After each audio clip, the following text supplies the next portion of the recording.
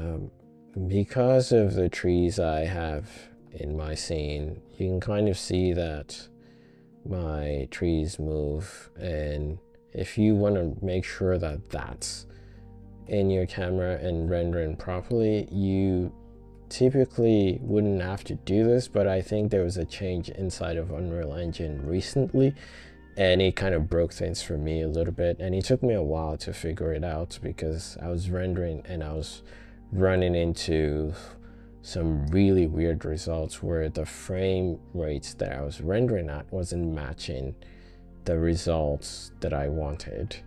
So what I had to do is I had to come into my camera settings and then I had to just type in here motion blur.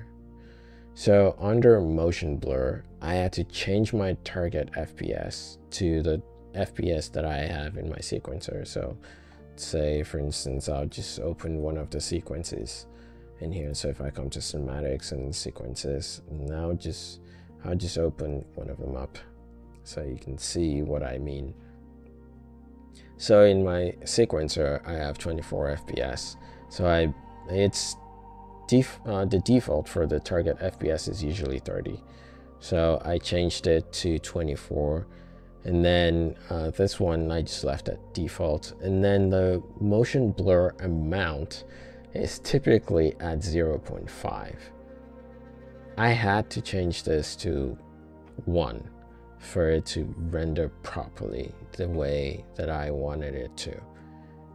And if you don't do that again investigate this investigate this in your scene. You, your scene may be fine with all of the defaults based on how you're rendering your scene, the types of things you have in your scene, especially if you have static things in your scene and things aren't moving as much.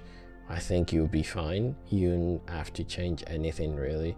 But if you're like me, that you know your renderings are really crisp and you know your foliage is very important to you and the movement of the of the foliage is important to you. If the movement of the leaves the, the movements of the trees the grass and things like that are important to you you have to come in here and mess with this a little bit. So mess with the motion blur amount mess with the target fps and this per object size i I typically don't use it. I haven't used it in the past, but um, I've heard things about it affecting your renderings.